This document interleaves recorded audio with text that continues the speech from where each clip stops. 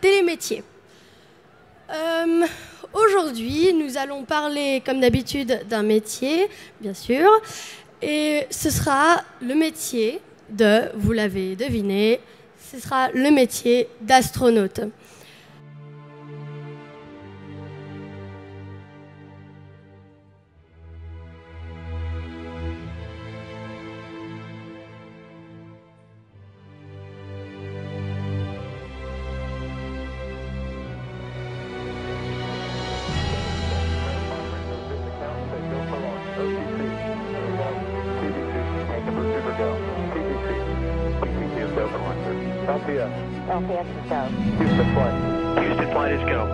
SRO. Is go. You have a range clear to launch.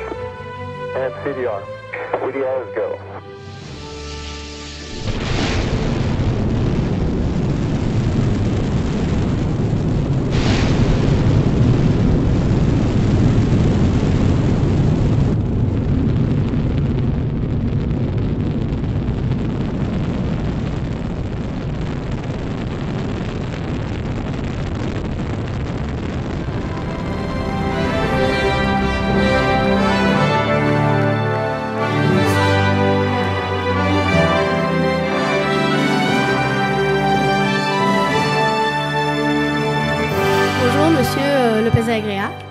Bonjour, monsieur. Ça va aujourd'hui à la Cité des Métiers? Très bien, merci. En tout cas, merci d'être venu ici à- depuis Washington. Nous sommes ici aujourd'hui à la Cité des Métiers à Palexpo pour parler du métier d'astronaute et pour partager avec eux notre audience quels choix professionnels ils peuvent faire pour participer à la grande aventure spatiale. L'Académie navale, euh, c'est euh, comme une université, sauf que les élèves, quand ils ont fini, ils ne font pas une carrière normale, sinon ils choisissent une profession navale. Donc ça peut être euh, submarinisme, ça peut être sur les, bateaux euh, sur la mer. Dans mon cas, j'ai choisi l'aviation et donc je suis devenu pilote. Euh, pilote, c'est un chemin assez connu pour être astronaute. C'est pas que je voulais être astronaute à ce moment-là, mais j'avais eu ce- cette idée quand j'étais tout petit et l'aviation me plaisait beaucoup. Et donc, après trois ans de pilote, euh, j'étais intéressé à devenir euh, pilote d'essai. Et donc, euh, je, m'informais de tout où je pouvais, aller pour étudier ce métier. Et lisant un article dans un magazine, j'ai trouvé une liste de tous les gens qui sont sortis de cette école, qui sont devenus astronautes. Et donc voilà, à l'âge de 25 ans, le rêve était rené. Vous êtes sorti de cette école, astronaute. Oui, exactement. Non, pas, pas tout à fait, mais quelques ans plus tard, j'ai entré dans le cadre, dans le corps des astronautes avec 24 autres personnes. Et puis j'avais 34 ans à ce moment-là. Et on a commencé un an d'entraînement général où on apprend bien sûr les systèmes techniques de la navette, mais aussi les choses plus générales comme la survie dans les conditions en cas d'atterrissage impré- imprévu. Donc, vous êtes allé dans l'espace. Parlez-nous un peu de, de vos missions dans l'espace. Oui, bien sûr. J'ai fait quatre missions. Euh, le premier était euh, STS euh, 73. C'était à bord de la navette euh, Columbia. Columbia. Euh, nous, avions un équipage de sept personnes qui faisaient euh, des expériences euh, divisées en deux tours. Donc, c'était les expériences dédiées à la microgravité.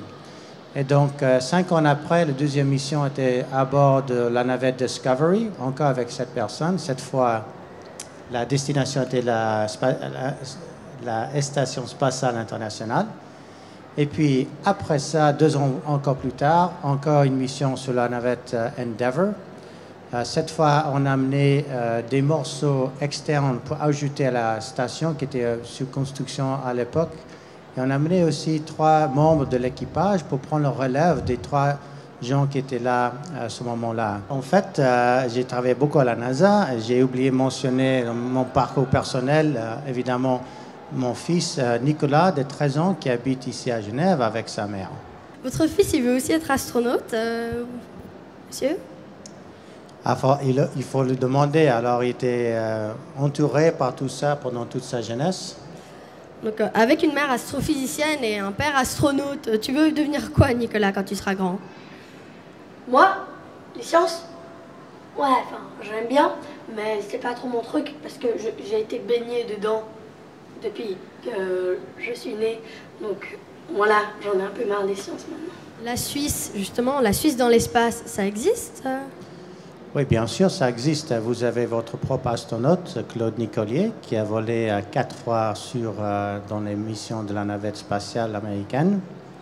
Et puis, euh, depuis longtemps déjà, la, la Suisse participe avec l'Agence spatiale européenne, c'est-à-dire qu'ils font partie de la, la politique et l'industrie euh, spatiale européenne. Et en fait, aujourd'hui, c'est un jour assez important parce que la Suisse prend la présidence de le Conseil de l'ESA.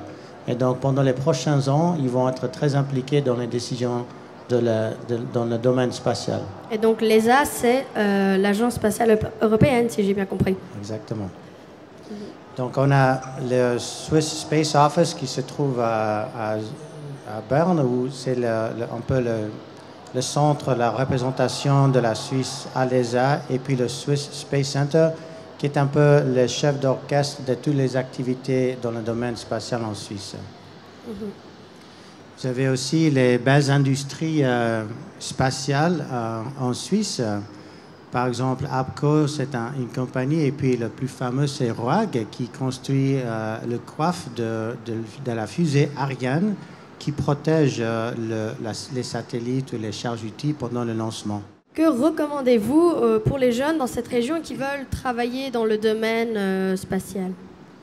Il faut euh, compter qu'il n'y a pas que les astronautes dans le domaine spatial, donc il y a beaucoup de métiers différents. Vous avez plein de, possibilités d'éducation ici, commençant avec les HES, avec les universités partout dans le pays, avec le PFL, pas très loin d'ici à Lausanne. Donc il y a beaucoup de possibilités parce qu'on ne fait pas que l'astronaute pour être euh, dans le domaine spatial. Par exemple, on a les techniciens, les mécaniciens, on a les médecins qui suivent la santé des astronautes, euh, même avant et après les missions. On a les architectes qui dessinent les, spaceports qui se trouvent maintenant actuellement aux États-Unis. Et puis on a aussi euh, des gens qui s'occupent de la nourriture spatiale, donc les cuisiniers, les chefs.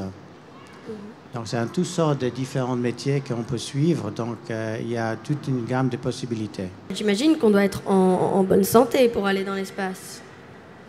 Oui, en fait, on fait pas mal d'entraînement avant, mais surtout pendant la mission, c'est très important de maintenir la- le, le fitness physio- physiologique parce que on a souvent les problèmes de perdre la masse musculaire ou le perdre d'os quand on, re- on re- revient sur Terre. Et donc, on fait pas mal d'exercices, soit euh, cardiovasculaires, soit résistance, pour éviter euh, ces problèmes. Mhm. Et il doit y avoir un âge limite pour euh, y aller et pour. euh, En fait, non, il n'y a pas d'âge limite. Ça suffit de passer le contrôle chaque an. Et puis, une fois que tu as passé le contrôle, tu es bien, bon pour un an. et il y a des femmes, donc j'imagine, dans l'espace aussi. Ah oui, c'était euh, ma, ma collègue Sunny qui a Ouais. fait en fait le marathon de Boston sur le tapis roulant en même temps que les, les gens qui faisaient le- la course euh, à Boston. Donc, dans l'espace, euh, vous vous ennuyez. Enfin, 7 mois, c'est long, voilà. euh, pour être dans une petite, euh, enfin, petite station spatiale, euh, vous pouvez pas sortir et, et vous n'y avait pas de neige ni rien. Vous avez du temps libre, des week-ends, vous faites quoi toute la journée?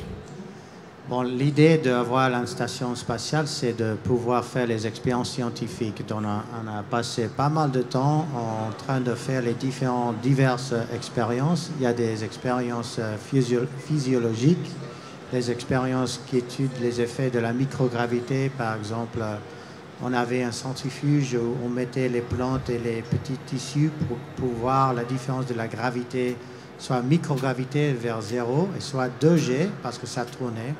Ici, on voit des- les satellites euh, qui essayaient de faire les différents types de vols. On faisait pas mal d'expériences sur nous-mêmes, c'est-à-dire voir les effets d'être dans la- le manque de gravité pendant longtemps. Donc, on a, fait, on a testé le temps de réaction avec cet ordinateur. On a pris euh, des échantillons de sang, de urine pour euh, regarder les changements métaboliques qui passaient pendant les six ou sept mois de la mission. On est devenu un peu médecin chacun. Après, on mettait les échantillons dans un sort de congélateur pour les garder pour la rentrée sur Terre. D'après Wikipédia, vous êtes euh, l'astronaute américain qui a fait le plus d'EVA. Donc euh, EVA, c'est pour Extravehicular Activity. Donc c'est les sorties spatiales quand vous sortez du vaisseau. Et vous avez ce record euh, pour un Américain. Oui, c'est juste l'activité extravéhiculaire, le EVA, c'est la partie euh, un, peu plus intéressante de la mission pour moi en tout cas, parce que c'est vraiment, on a un sentiment très spécial d'être hors de la navette, en train de regarder cette vue magnifique, mais tout le temps en train de travailler.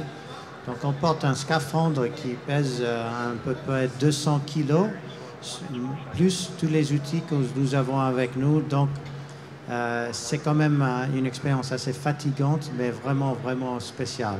Vous passez combien de temps à peu près hors du vaisseau? Chaque sortie, normalement, c'est entre 6 heures et 8 heures de durée. Ça fait rêver le métier d'astronaute. Vous gagnez beaucoup d'argent, je pense, alors euh, J'aimerais dire que oui, mais en fait, on est les employés de l'État, donc on est payé comme, par exemple, les professeurs ici, donc on gagne bien l'argent, la vie, mais on n'est pas riche du tout. Ok. Et après astronaute, vous avez fait quatre vols. Après astronaute, vous faites quoi comme métier? Bon, il y a des différentes gens qui ont fait les parcours différents. Alors, on a des gens qui sont devenus artistes, euh, écrivains. On a un cas très fameux de le premier Américain qui a orbité la Terre, qui s'appelle John Glenn. Donc, après son carrière d'astronaute, il est devenu sénateur. Et après sénateur, il a revolé une fois avec 77 euh, ans euh, sur la navette spatiale. Donc euh, c'est un cas exceptionnel. Et vous? Moi, je suis maintenant de la Commercial Space Flight Federation, c'est-à-dire la partie de l'industrie qui est plutôt dédiée aux entreprises privées. Donc on essaie d'amener la possibilité de voler non seulement aux astronautes des gouvernements différents, mais à vous, par exemple. Après 30 ans de service, la navette spatiale a fait son dernier voyage.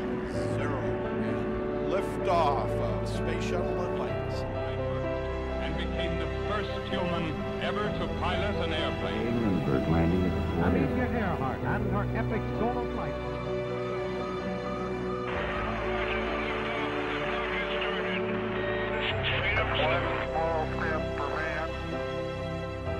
Qu'est-ce qui viendra après?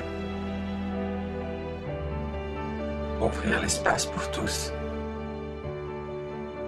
Créer des milliers de nouveaux emplois dans une nouvelle industrie high-tech. Inspirer une nouvelle génération. Unir les explorateurs autour du globe.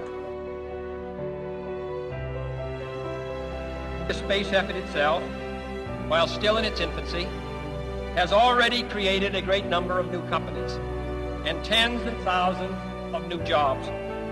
Space and related industries are generating new demands in investment and skilled personnel.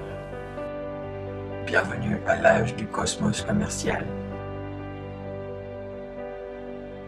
Fédération du vol spatial commercial.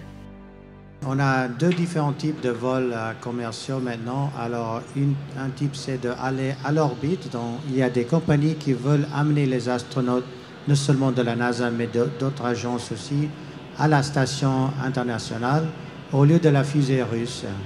Et puis, il y a des autres entreprises qui veulent faire les vols suborbitaux, c'est-à-dire ils décollent, ils, ils ont euh, jusqu'au bord de l'espace, c'est-à-dire à 100 km après ça, il revient sur Terre directement.